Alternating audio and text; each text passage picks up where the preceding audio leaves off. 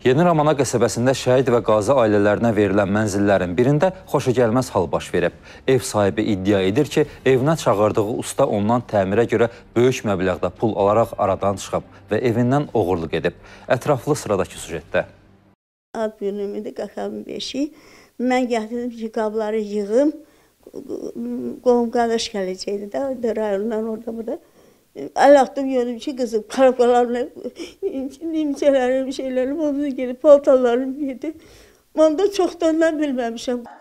Oğlu 1-ci Qarabağ müharibəsində şəhid olan Əşrəf Məmmədova bir ildir ki, dövlət tərəfindən ona verilən yeni mənzilində yaşayır. Evində təmir işlərini aparmaq üçün usta çağırdığı yerdə dediyinə görə özü işə düşüb. Belə ki, usta müxtəlif vaxtlarda ondan 1000 manatdan çox məbləğdə pul alaraq yoxa çıxıb. Təmir işini isə yekunlaşdırmayıb. Şikayətçinin iddiasına görə hələ üstəlik evindən oğurluq da edib. Hadisə isə şəhid anası Əşrəf xanım evdə olmayanda baş verib. İşləməyib. Pulumu alıb gedib. Saxlamışdı da, kaydı saxlamışdı, kuxlanı.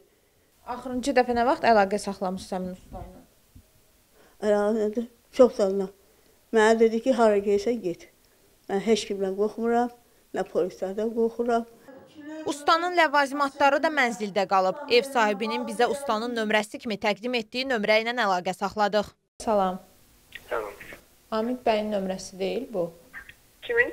Amid bəyin nömrəsi deyil. Xeyr. Şikayətçi bir neçə dəfə Sabunçu rayon polis idarəsinə də müraciət edib. Problemlə bağlı Daxili İşlər Nazirliyindən məlumat aldıq.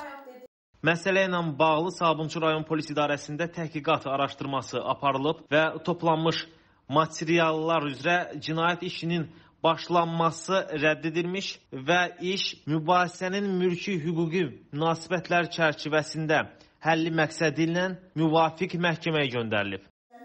Nurlan Əliyev sonda onu da əlavə etdi ki, Əşrəf xanım cinayət işinin başlanmasında rədd qərarından ibtidai araşdırmaya prosesual rəhbərliyi həyata keçirən Sabunçu rayon prokurorluğuna şikayət edə bilər.